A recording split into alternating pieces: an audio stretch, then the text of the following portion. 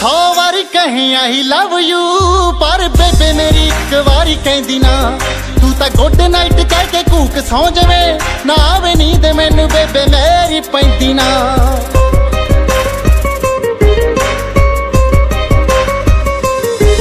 ਜਿਹੜਾ ਸੁਪਨੇ 'ਚ ਤੇਰੇ ਨਾਲ ਦੇਖਦਾ, ਉਹੀ ਮੰਮੀ ਡੈਡੀ ਮੇਰਾ ਸੰਸਾਰ ਨੇ। ਮੰਨਿਆ ਮੈਂ ਤੈਨੂੰ ਪਿਆਰ ਕਰਦਾ